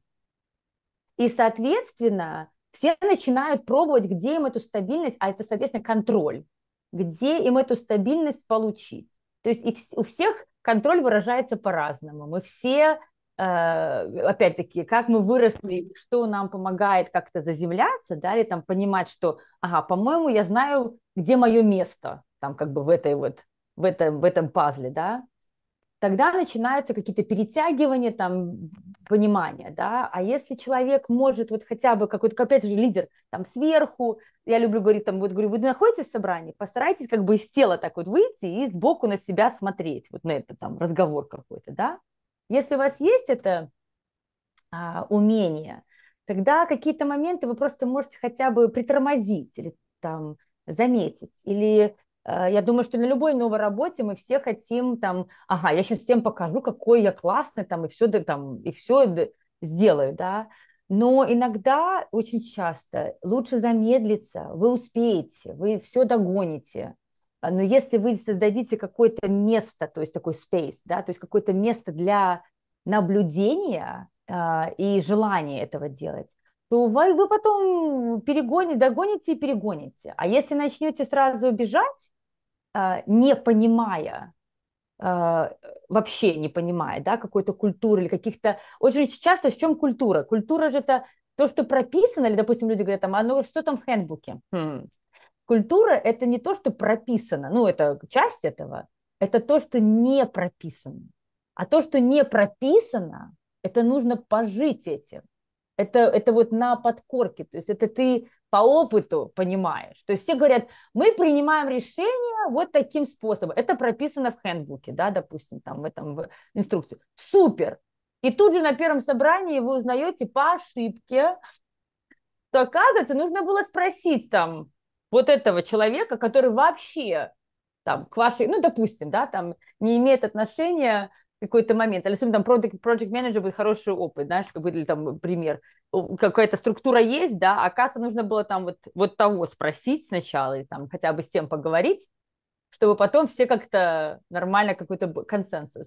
А это все познается э, наблюдением. А наблюдение, оно приходит только если вы этому даете время и желание, да, понаблюдать. Поэтому не торопитесь. Слушай, отличный, отличный поинт. Прям несколько раз я даже все в голове прокрутила. И действительно, когда вы выходите на новую работу, и мне кажется, даже на любые позиции, лидерские, не лидерские, да. притормозитесь, замедлите, дайте себе паузу и наблюдайте, осмотритесь. Да. И в целом, а, что я заметила, американские компании, они чаще всего достаточно медленные. Вот то, что да, ты придешь да. и на следующий день тебе надо будет катить код в продакшн, да, такого нету. Ты будешь там неделю настраивать себе почту, вторую неделю будешь еще настраивать себе там еще другую почту, да, и вот так вот пройдет месяц, да, потом ты пойдешь да. со всеми познакомишься да. и так далее, да, и вот надо э, как бы это время использовать как раз-таки для того, чтобы сесть, изучить компанию, изучить людей да. вокруг тебя, да. какие-то процессы, прям наблюдать, наблюдать, наблюдать. Мне кажется, это прям очень-очень хороший совет вообще для всех. Супер. И именно вот ты правильно, ты правильно подсветила, что так оно и есть. Там, знаешь, иногда часто я слышу, допустим, там, он боринг, да у них там нифига не, не сделано, я там всю неделю там ждал чего-то. Я такая, а что вы ждете? Идите с людьми разговаривайте, там, общайтесь. То есть, ну, тут узнавайте людей, вот как ты говоришь, да, узнайте, у кого там дети, что вам интересно. Вот что вам интересно, Начинайте на эти темы разговаривать. И потому что в чем же самый главный leverage, в чем самые главные рычаги вашего влияния в любой компании, на любой должности? Это ваши connections, то есть ваши отношения с людьми. Ну, конечно, там кто-то может сделать, потому что вы начальник, да, и там вас вы сказали. Но самое лучшее, то есть для меня было самое главное в моей команде, это построить так, что люди делают работу, опять-таки, как лидера. Работа делается отношением к людям, а не потому, что я так сказала. И если они этого не сделают, да, то им будет выговор. А это делается временем. Отношения не строятся там. А когда уже все вовлекаются, когда у всех имейлы работают, когда все работает, уже начинается по 100 имейлов и, там, и больше в день, какие отношения иногда? Думаешь, так, подождите, дайте мне там прочитать 50. Вот, поэтому, когда есть эти моменты, пользуйтесь. Да. Согласна, согласна. Супер. Ну вот да, мы узнали, что есть три типа барьеров: а, культурный, языковой и барьер адаптации. А, давай поговорим о рисках вообще. Как, почему так сложно русскоязычным фаундерам, там, менеджерам, руководителям найти работу сразу вот такие с бухты-барахты вот в США? Какой риск вообще последствия для компании американской? Да. Нанять менеджера вот с таким другим да. бэкграундом? Ну, риск, мы об этом немножко поговорили, да, риск это э, э, может быть негативный эффект на культуру, а это большой риск, да, то есть, ну, и, и риск, риск идет э, какой-то, может быть, эффект на культуру и также деньги, ну, то есть, ну, это все, то есть нанимать на большую должность, э, это известно всем, это процесс, деньги и так далее и тому подобное. Когда человек приходит из другой культуры, если организация именно построена на мультикультурной, ну, есть организации такие, даже не, не обязательно должны быть, ну, как бы такие огромные или глобальные, но у них сам персонал, все разных там, ну, то есть этнического принадлежности, возраст, то есть они конкретно вот очень разные. И на этом культура строится. То есть э, это стратегически построено, допустим, это очень классно для разных мнений для разных идей, для инноваций. Когда мы все набираем на работу таких же, как мы, то, в принципе, все будут думать одинаково. Это тоже не плюс, это такое от, отхождение немножко от темы. Поэтому, с одной стороны, это классно. С другой стороны, в тех компаниях, в которых вот этого вот осознанности этой нет и понимания, что с разными культурами разный подход, и как их онборд лучше, в тех начинаются проблемы. Потому что если те, допустим, с американской позиции или с американской культуры нанимают других культур и стран, думая, что те то же самое будут делать так же, да, то, скорее всего, начинаются какие-то моменты, где обе стороны э, очень неосознанные в плане в том, что типа, а что теперь с этим делать? Mm-hmm. Вот. И, э, и когда лидер нанимает, как мы говорили об этом в начале, то есть в зависимости от объема ответственности, это, ну, то есть это будет э, э, как бы это как бы такой ripple эффект, да, то есть это, это повлечет за собой положительные или негативные последствия для определенного количества людей. Поэтому, когда нанимает лидера э, из другой страны, из другой культуры, вот этот весь onboarding, то есть для меня это тоже очень важно, что в компаниях не всегда, ну, очень мало, э, на моем опыте, кто понимают, что вот нужно этот онбординг делать, особенно людей из другой страны, или как вот это, чтобы вот это понять, кто, как, где, э, э, вот эту адаптацию, помочь им с адаптацией, да, потому что, опять-таки, там недаром, допустим, 90 дней, но если в 90 дней, да, там этот probationary period, пробовательный такой период, но если в 90 дней действительно вот влиться, помочь человеку понять организацию и культуру по максимуму, потом можно звезды доставать с неба.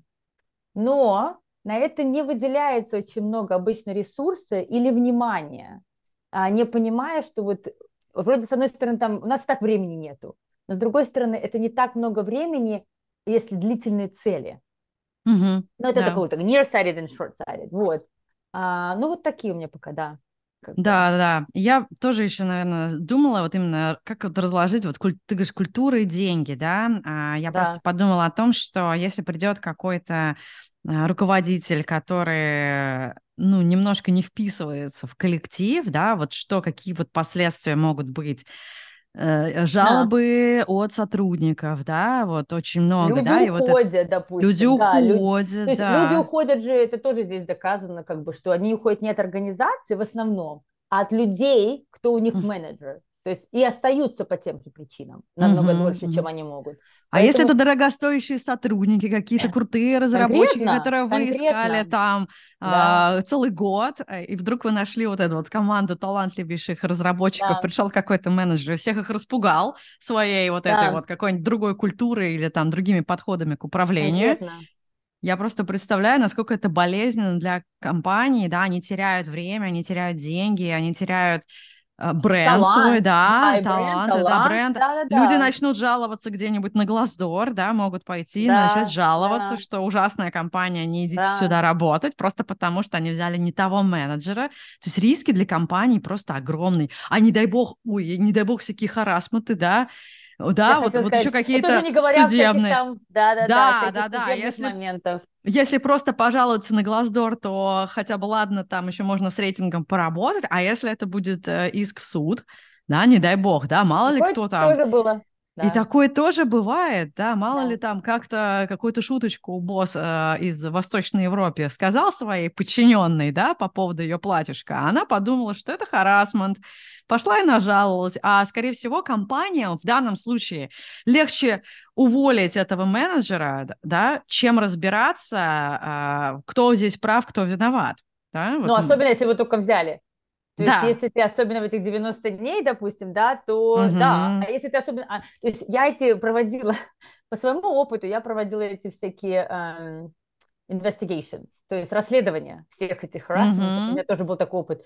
Для меня еще было важно, то есть даже поговорив с таким менеджером, да, я как тот, который принимает решение в конечном итоге, э, если человек не понимает, в чем была его ошибка или ее ошибка, это проблема потому что это спокойно может повториться. А вот это уже конкретно, ты правильно говоришь, это уже liability, то есть я так, из, а, и с чем мы будем ходить?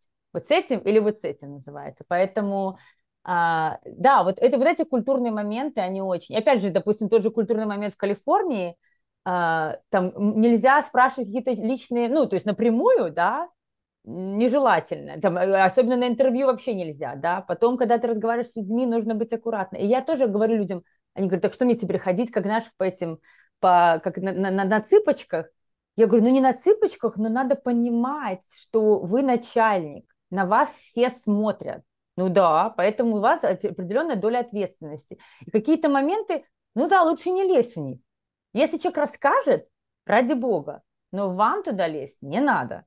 Вот. А это вот конкретно такие, вот знаешь, вот очень э, тонкие различия, да, где, э, где, допустим, или, допустим, там начальнику это скажешь, если там, ну, с другой культуры что-то, он такой, ну, да, да, и делают по-своему. Ну, да, да. Это, ну, я пойду к CEO, скажу, извините. Либо сейчас... вы будете сейчас, либо у нас будет лосут, либо вы что-то с этим будете делать.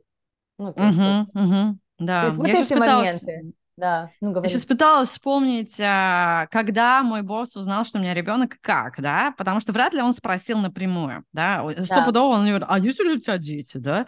Скорее всего, скорее всего, да, я как думаю, что либо я где-то упомянула, либо он сказал да. про своих детей, мне рассказал, а да. я его подхватила, о, да. у меня тоже есть дети, да? да. Вот, то есть мне кажется, вот, вот это, так это вот. вот да, это вот опять назад к тому, что как, как можно с людьми э, общего находить что, да, какие отнош, отношенческие. То есть, опять же, твой же босс нашел подход и какие-то моменты. Да, он знает личные моменты, но ты четко помнишь, что типа, ну точно не в лоб спрашивал вопросы. Угу. То есть это, это такой э, талант. Да, это талант, это сто процентов талант. Но вот давай, давай обсудим вообще, как, как развивать вот эти таланты, как развивать американские лидерские навыки и вообще сколько времени это занимает? Ну, по времени в зависимости, конечно, от того, на, как, на какой вы как бы, точке находитесь, да, или куда вы хотите прийти, это, ну, это все равно процесс.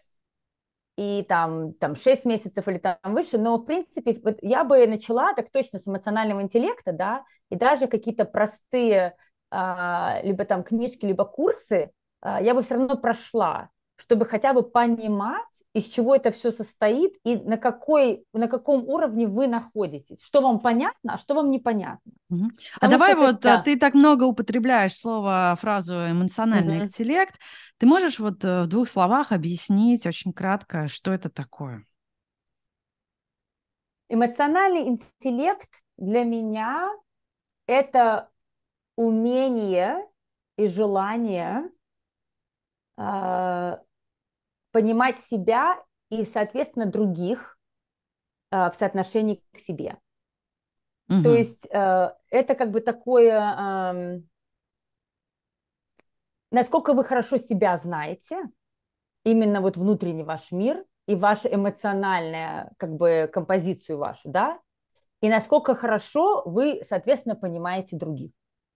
Угу, угу. То есть правильно я понимаю, что без осознавания, знания себя и своих и умения определять свои чувства и эмоции, да. ты, скорее всего, не сможешь определять чувства и эмоции других и это... понимать, насколько да. им тоже хорошо или плохо, да? Это, это, это, это единственное, с чего мы начинаем, да.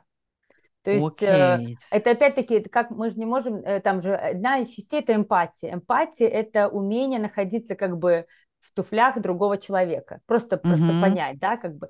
Но понять этого человека мы можем только э, понимая какие-то моменты в себе и, соответственно, какой-то, может быть, какой-то соединенность в этом.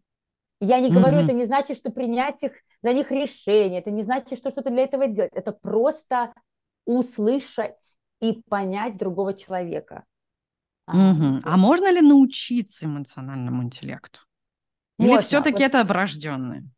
Нет, Сейчас такую считаю, психологию что... пошли. Да, нет, я считаю, что можно, поэтому как бы, нет, я четко считаю, что можно, но это опять-таки это вот это вот личностное развитие, которое занимает время. То есть, когда, допустим, ты спрашиваешь, сколько это времени занимает, я такая, ну, в зависимости от человека, ну, ну, там, явно не быстро, да? То есть явно это явно... Быстро, но полгода там какие-то моменты или сдвиги, да, есть. Но это, это вот именно этот вот такой процесс, который люди с более а, логи, логичным складом ума или что-то, ага, я, у меня такая цель, я ее достиг. А здесь оно более качественное, то есть разница твоей жизни меняется, твоего понимания себя, то есть вот это вот именно осознание, умение, э, умение понимать, э, как на тебя что-то влияет и как ты реагируешь и почему ты так реагируешь, да, и откуда это вообще, и что с этим делать, и, соответственно, потом, когда ты в, э, в отношениях с человеком, работа, дом, неважно, мы все время с людьми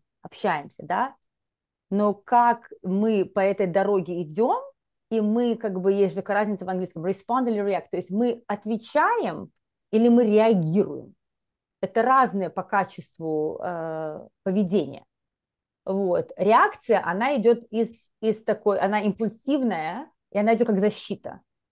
А ответ, он идет более из понимания себя, и, соответственно, ты тогда отвечаешь там человеку или как-то ты на этот какой-то там позыв отвечаешь, а не реагируешь. То есть у тебя есть время, ты себе создаешь такое внутреннее время между тем, что к тебе пришло, что ты внутри себя переварил и что ты выдал. Вот в этом вот промежутке угу.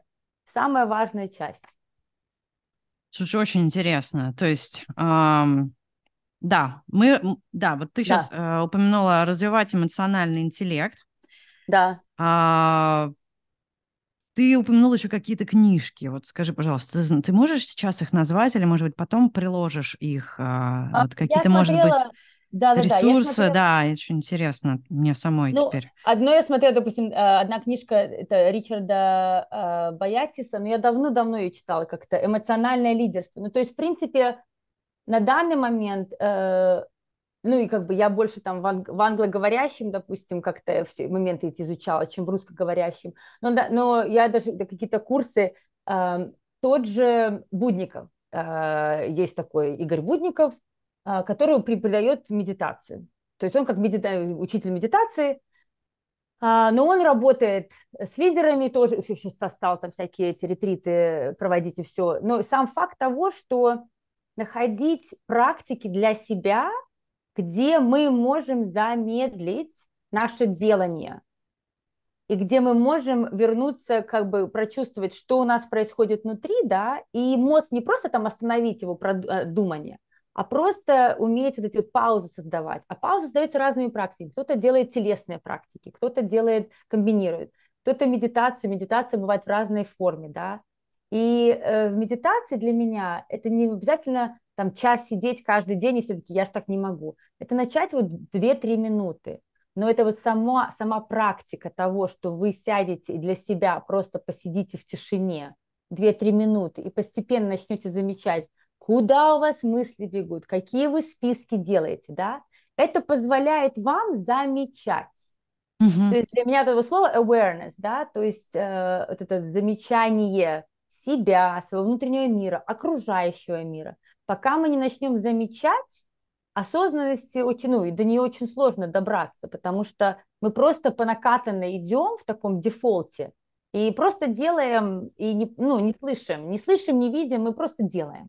Угу. Вот. И вот Вообще вот моменты, да, да, наблюдение, опять же таки, возвращаемся к наблюдению. Я тоже да. рекомендую людям, которые вот приезжают только-только свежие иммигранты, вот как мне адаптироваться к культуре США, да. ну, наблюдайте, да, вот наблюдайте и смотрите, да, что нового, да, вот в данной, в данном каком-то да. действии или чего-то, да, вот вы пришли в магазин, вам угу. улыбнулся а, продавец, он с вами да. поговорил пять минут о какой-то фигне, да, да и, и, спросил про вашу вообще день, жизнь, да, детей да, да. там и так далее, что угодно, да, да. И, и здесь начинается такой вот как бы диссонанс, угу. типа, что ты со мной угу. вообще разговариваешь, да, да, вот вообще, да, и тут вот здесь как раз-таки точка роста, точка вашего роста, если вас что-то триггерит, да. подумайте, да, ага, Конкретно. так, меня да, да. потом меня один э, продавец спросил, меня второй, ага, третий. Наверное, наверное, так надо, да? Дай-ка я попробую сам спросить продавца в следующий раз, да? И опять же таки понаблюдаю, такая, фу, да. мне не нравится, да, что за фигня какая-то. Да, и вот здесь вот сидишь и наблюдаешь вот каким-то угу. мелочам, там, угу. в лифте встретился, улыбнулся. Тоже угу. сначала я вообще не могла себе, э, и, как, не знаю, принять вообще тот факт, что я должна в лифте с кем-то общаться, улыбаться, мне это очень не нравилось. Но со временем, со временем просто просто как бы я наблюдала, я понимала, что здесь такие правила игры. Здесь uh-huh. надо здороваться, здесь со всеми. Я теперь уже, когда здороваюсь, и со мной не здороваются, я такая, вы что, офигели, что ли, я не поняла. какие-то? Да, да, да, да, да, вообще уже. Я такой ну, вот. на днях, я такая, я не поняла вообще. Да, да, да, ты что со мной не здороваешься, да, да, да. Я ему good morning. Слушай, супер. Ну давай, помимо... Да, то есть три вещи последние. Там, вебинары какие-то проходить, да, допустим, там книжки. То есть для кого что заходит. Но просто даже вот просто начать понять, что для вас это значит и где у вас вот такие, да вообще не понимаете слов, и начать в это копать, да, вот это уже вас как бы поведет совершенно по другой дороге. Супер. Да. А, ну, давай по поводу а, развития американских навыков. Ты, мы очень хорошо обсудили эмоциональный интеллект. Есть еще что-то, что э, поможет мне развить свои американские э, лидерские качества, помимо развития эмоционального интеллекта? Ну, я когда думала об этом тоже. Эм, э, сказать, ли, какие-то лидерские курсы, но именно лидерские курсы с, э, с этой стороны, то есть э, эмоциональный интеллект, э, я бы сказала, даже вот просто найти э, либо какие-то meetups, если вы здесь, да, если нет, то тогда какие-то курсы на английском о лидерстве, то есть чтобы нарабатывался, во-первых, словарный запас ваш, да, то есть как бы вы понимали, то есть вы в этой среде были, а это во-первых, во-вторых, вы начинали читать, ну тут больше для меня почему нравятся курсы, потому что вы тогда интерак, интерактивность идет с людьми, да, то есть, допустим, вы можете задавать вопросы, не просто там вы прочитали книжку, такие, а, а это вот так или не так. То есть, когда вы какие-то курсы проходите, не обязательно там сумма, вообще, вот, ну, не в деньгах дело, а дело просто, что, как ты говоришь, вы наблюдаете, ходите по улице, и вы слушаете какие-то курсы, в них присутствуете. То есть у вас по-любому начинается, запускается машина вашего слушания, связания, понимания языка другого, и включаются вопросы ваши для себя, да, то есть я же не знаю, с каким вы какими вы качествами приходите, да, но начинается момент такой, а, вот они это сказали, а что это значит вообще, да, допустим, там, или там мы говорили про фидбэк, или там про обратную связь, да, а вот делать ее вот так, а это, это вот а с кем попробовать. И э, это надо пробовать. То есть для меня еще такой большой человек как бы практики, да, то есть мы можем говорить о куче всяких вещей, но пока мы что-то не начнем пробовать и делать, это находить либо с какими-то своими, если, если вы ничего не, не работаете нигде, то есть с друзьями, или какую-то группу создать, или не бояться там несколько человек вместе с вами, слушайте, или особенно, почему мне еще курсы заходят, а, вы можете создать там как бы такой бади, то есть взять кого-то, сказать, слушайте, а мы можем тренироваться там вдвоем. Это страшно подойти к незнакомому человеку, просить, что вам нужна помощь. Но это рост, вот это и есть эмоциональный интеллект, что типа, да, мне страшно. Вот я сейчас пойду попрошу, могут сказать да, могут сказать нет. Ну, это без этого в жизни невозможно. Ну, возможно, но это вы настанете на одной точке. Вот, поэтому найти кого-то, либо даже несколько пару человек, где вы можете это практиковать, хотя бы разговаривать об этом. И это уже начинает вас подвигать. А потом, конечно, можно пойти на работу э, в более низкой позиции, как для вас может казаться более низкой. Здесь тоже такой момент в Америке. Э, позиция иногда, то есть сама название позиции может соответствовать, не соответствовать деньгам. Ну, то есть вы можете называться одним, зарабатывать другое, то есть смотрите, что вам важно. Вам важен статус, и там вот вы на такой позиции, в такую позицию хотите перейти, ну, это, ну, как бы это можно сделать, но более сложно. Если вам нарабатывать опыт и пойти в более там, если вы были там директором, а вы пойдете в менеджер, да, то вы будете нарабатывать вот саму, вот как то, что говорила, культура организации, и адаптация. Вы хотя бы будете на опыте, то, что, допустим, Аня рассказывала, да, или там я рассказываю, вы будете на опыте проживать хороших начальников, не очень хороших начальников, подчиненных, которые вам вынимают мозг, да, там подчиненных, которые, оказывается, есть классные. Это все опыт. А, и если вы можете через свое эго пройти хотя бы на какой-то период времени, если там сказать так, я вот год делаю вот это, допустим, да, я просто иду, работаю вот в этой индустрии. И идете, работаете, а вы наберете кучу опыта. Угу.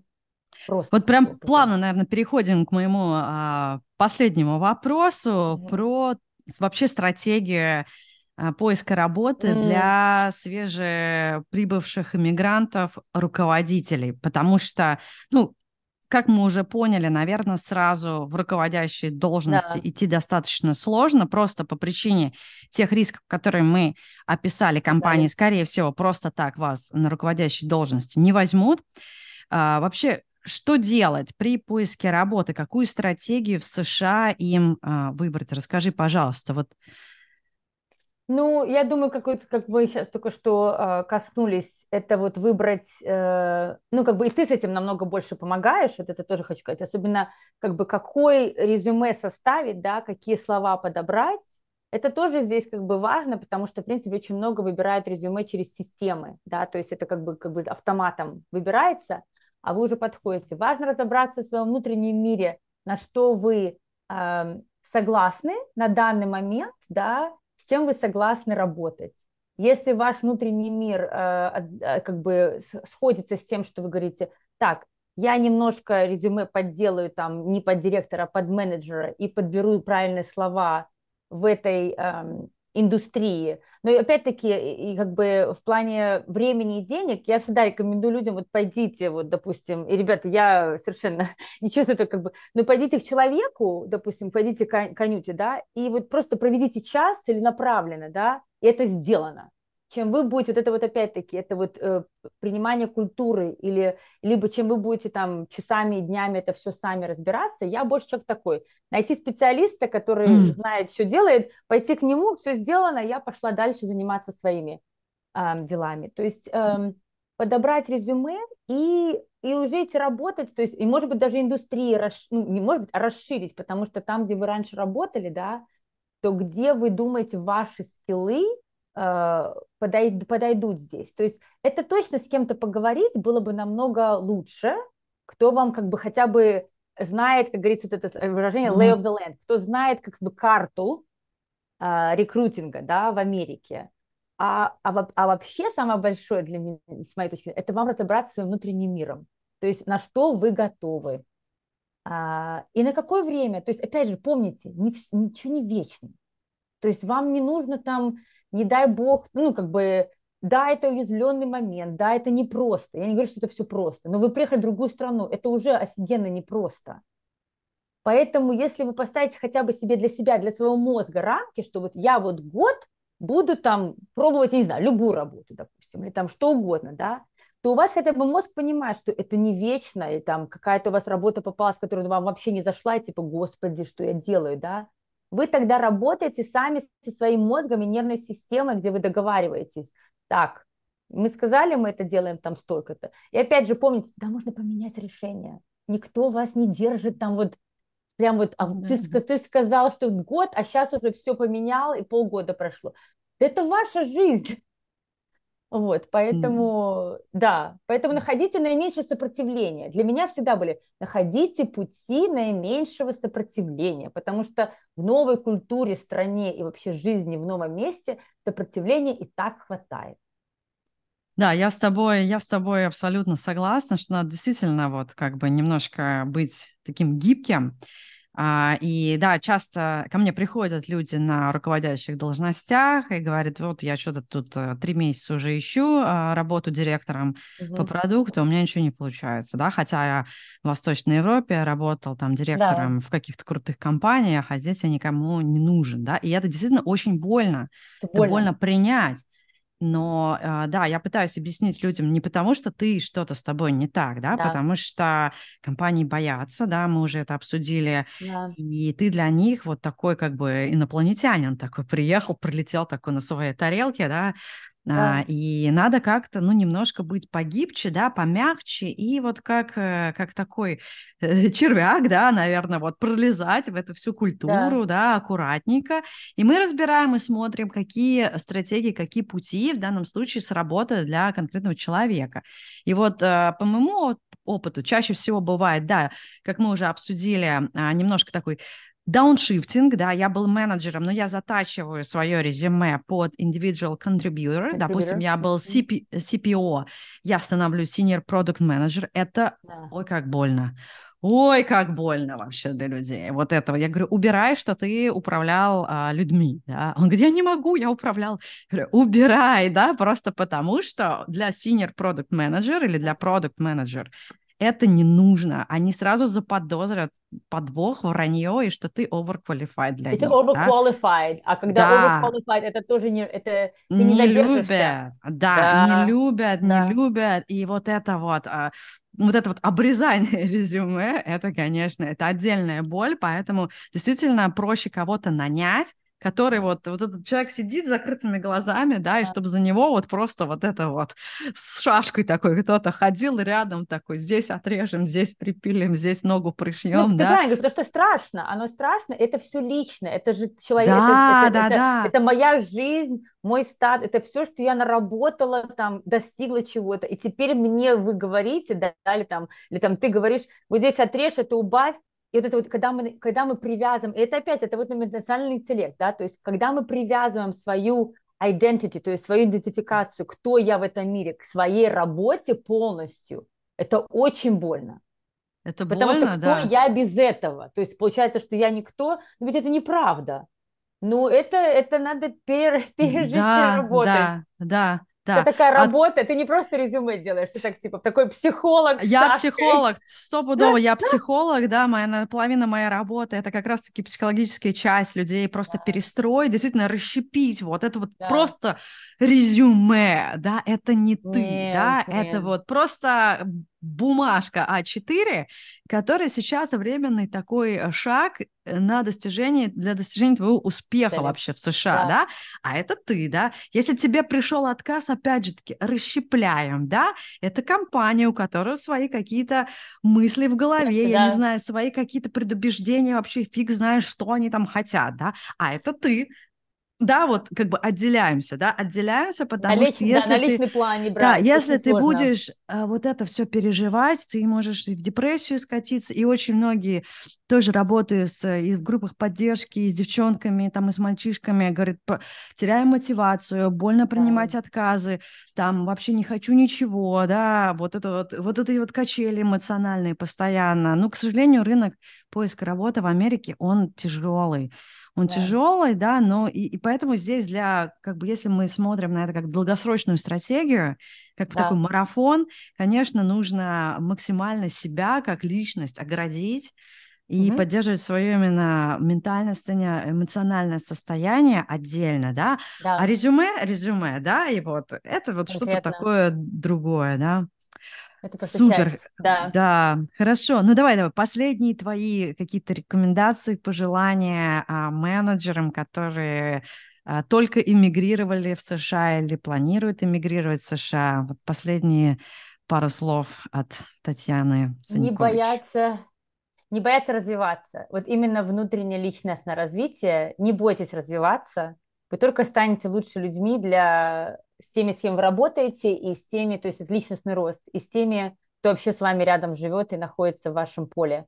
Это первое. Второе, а, делайте паузу. Не забывайте делать паузу. То есть, э, когда вы наблюдаете в новой стране, когда вы на новой работе, когда вы с людьми разговариваете, по максимуму старайтесь делать паузу. То есть какие-то практики для себя развивайте, чтобы это вам помогало. И третье, э, то, что вот ты сейчас сказала, и у меня это откликнулось, когда вы здесь уже процесс или там вы там, и у вас идет процесс отката, да, или какой-то такого совсем сдувания, помните, что энергия ваша, то есть это энергия все, да, и она находится, она, приносите энергию в вашу жизнь другими путями. То есть не забывайте делать вещи, которые вам приносят радость неважно, работаете вы или нет, потому что только на этой энергии ваш организм может как бы двигаться вперед. А, поэтому вот эти моменты помните, записывайте, находите, что вам приносит радость, и это делайте всегда. А, тогда вам будет с откатов немножко легче вылазить, потому что по-другому никак. Спасибо. Супер, супер. Таня, спасибо тебе огромное. Да. Было дико интересно вообще общаться, послушать а, твое мнение, советы, твою экспертизу. Спасибо, что поделилась. Спасибо. И сегодня мы узнали, было. да, спасибо. И сегодня мы узнали, что если вы менеджер и у вас что-то пока не получается найти работу мечты в США, не отчаивайтесь, это временно. А, что делаете, да, наблюдайте, делайте паузы, развивайте эмоциональный интеллект. Мы очень много сегодня говорили про эмоциональный интеллект. Mm-hmm. Отделяйте свою личность от э, рабочей, пытайтесь получать энергию из каких-то других ресурсов, делайте то, что вам интересно, даже если это не связано с работой. Если вам нужен коучинг, записывайтесь к Татьяне на консультации. Спасибо. Ее контакты я оставлю в описании к этому видео, и также как э, любые другие ресурсы, которые Таня с нами обязательно поделится. Если вы хотите прокачать свое резюме, профиль в LinkedIn или подготовиться к интервью в, эмоциональ... в эмоциональной компании, все уже, все, у меня сегодня, я полностью, да, в эмоциональном интеллекте. Если вы хотите подготовиться к интервью американские компании, либо просто узнать тонкости поиска работы в США, заходите на мой веб-сайт adnanaumova.com и записывайтесь ко мне на консультации. Если вам понравилось это видео, обязательно ставьте лайк, делитесь делитесь этим видео у себя в соцсетях, либо с друзьями, кому это может быть интересно. И, конечно же, подписывайтесь на канал, чтобы не пропустить полезные видео про переезд и поиск работы в США. Каждую неделю я выпускаю новые видео на канале. На этом все. А, спасибо огромное, Таня. Спасибо еще раз. А, и спасибо всем, кто смотрел. И до встречи через неделю.